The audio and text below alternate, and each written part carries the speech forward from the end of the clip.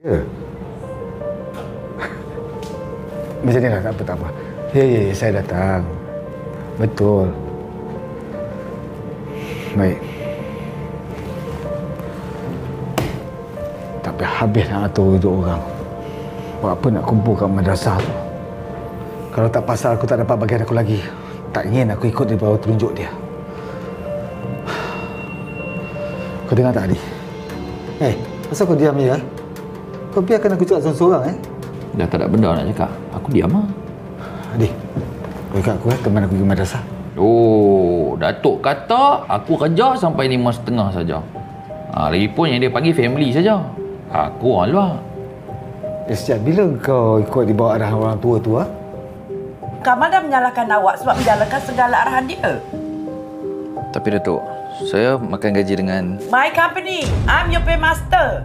Bagi tahu saya sekarang di mana yang awak kata Kamal adalah the mastermind. Maaf Datuk.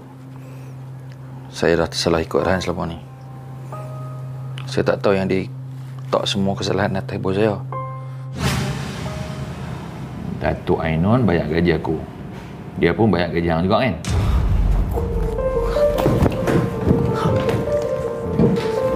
Orang tahu meninggal kuih tiaw.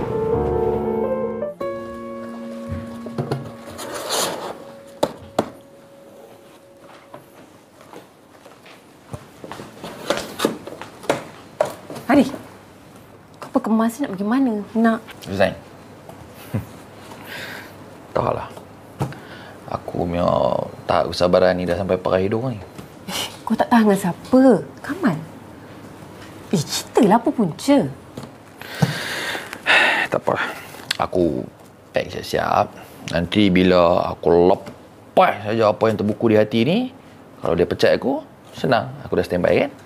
Ya apa ni angin tak ada ribut tak ada tiba-tiba dia. Eh, ceritalah dengan Rupi apa punca dia. Ceritalah. Ui, mana boleh? Ang CCTV dah tu. Cerita TV pulanya. Eh, Adi.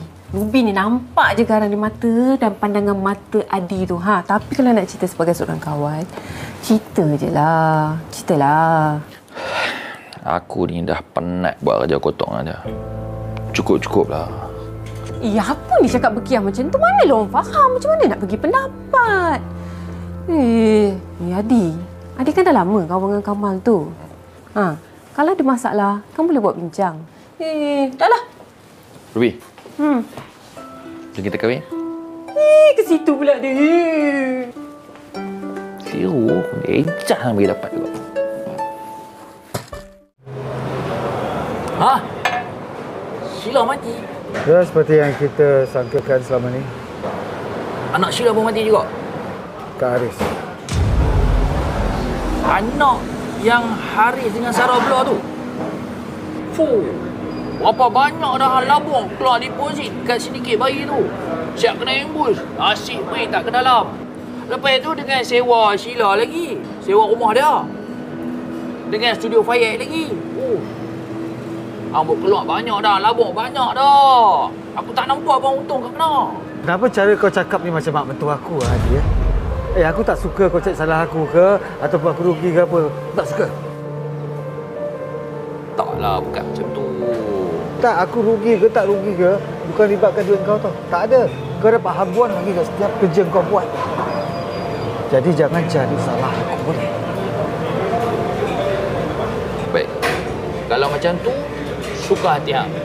Memang hang menantu Datuk. Tapi aku, kenal hang lama dah kot. Daripada kampung dulu. Aku ingat aku tegur lah hang sebagai kawan. Jadi kau tahulah yang aku ni menantu orang tua kaya tu. Eh, makan minum kau pun aku bayarlah selama ni. Eh, mujur Sheila tu mati beranak.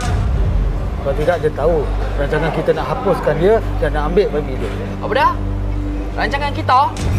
Ni, ni rancangan hang dengan Fayed tau. Aku tak terbabit. Kau terbabit sekali. Kau jangan cakap macam tu kau tak terbabit. Kau sama-sama dengan aku. Adi, aku tak habis cakap lagi Adi. Adi! Diam ah.